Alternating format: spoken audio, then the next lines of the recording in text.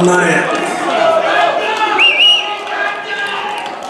대한민국에 대통령 할 사람이 없는 줄 알았더니 오늘 오니까 아주 많아요.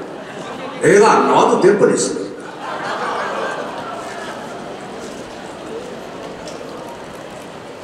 아픈 역사를 갖고 겪어보지 못한 탄핵의 고통 속에서 용서를 구했습니다.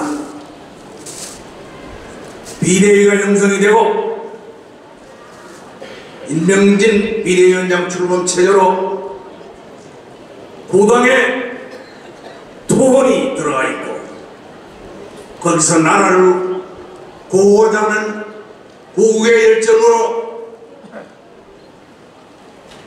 임했습니다. 많이 어려웠습니다. 국민께 무릎을 꿇고 용서를 구했고 또 빌었습니다. 석고대전을 하고 한 번만 무너져가는 당을 살려서 자유한국당 믿어달라고 국민들께 간절히 용서했습니다.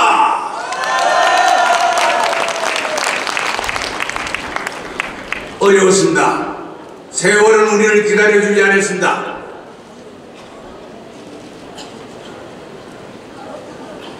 (60일호) 전대미문호 대통령 선거를 치러야 하고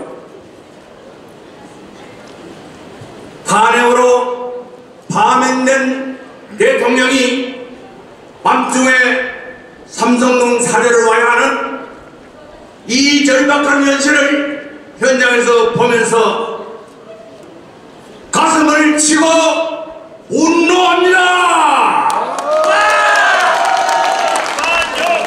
저는 무엇으로 표현할 잘못됐다고 용서를 구했습니다. 자연인으로 돌아간 박근혜 전 대통령 삼성동 사자가 불편하시면 고향인 경상북도 지사가 고향에서 모시도록 하겠습니다.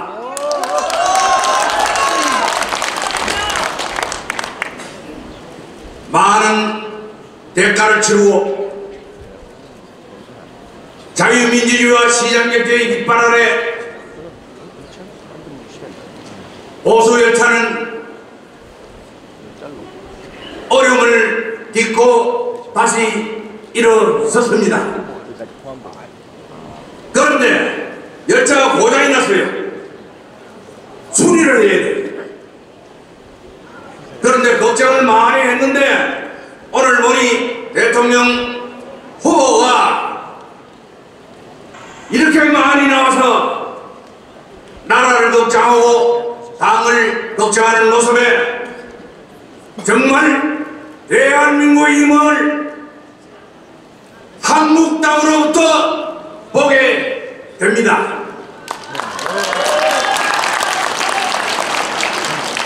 어렵지만은 화면에서 보셨듯이 가장 중요한 안보 사드 배치 현장을 관리했던 도시사람입니다. 많은 민원과 어려움을 딛고 안보를 여야를 넘고 진보와 보수를 넘는 국가 소위 최고의 가치입니다. 이런 문제를 갖고 정치적으로 이용하는 문재인 후보는 정확히 알 수가 없고 검증이 다시 한번 돼야 되기 때문에 대통령 후보에서 여러분께서 확실히 보고 진단하라고 발표를 했습니다. 그래서 후보 변선에서 사퇴를 요구합니다. 헌법을 바꿔야 된다. 기존의 정치가 남긴 폐허일을 다시 한번 판을 짜고 모든 권한을 밑으로 내놓고 절대적인 권력은 절대적으로 부패했듯이 이제는 기득권을 정치도 경제도 사회도 문을 내려놔야 된다. 현장에서 다시 한번 정리되는 문건 개헌을 못하겠다는 겁니다. 모 후보는. 그러면은 후보 공약으로 3년 단축 임기 대통령으로 개헌의 틀을 짜서 공과 약속을 지키고 물러나야 됩니다. 귀생하는 지도자가 필요한 시점입니다. 그래서 경제 문제를 한번 다뤄보겠습니다. 젊은이들이 취직을 못해 방황하고 경제를 통해서 다시 한번 대한민국을 주공하는 취직 점수기는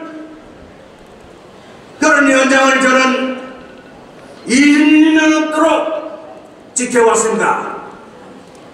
말로 사는 것이 아니라 성적표로서 국민께 보호를 드리도록 하겠습니다.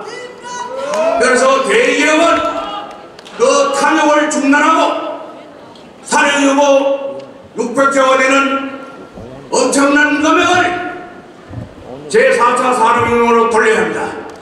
중소기업은 중소기업부를 만들어서 일자리를 창출할 수 있고 특히 넘쳐난 6차 산업혁명으로 새로운 지식터전으로 만들어 가야 합니다. 정말 어렵긴 하지만은 제도로 하는 그런 나라, 그런 제도 이번에 만들지 않으면 강경 집회의 국민의 분노를 담아낼 수 없습니다. 마지막으로 저는 보도를 합니다.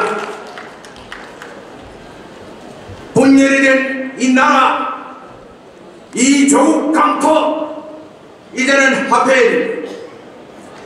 다시 물러서서 보고 양보하고 이 엄청난 에너지를 모아서 추진 동력으로 프로펠러를 잡아 돌려야 합니다 여러분.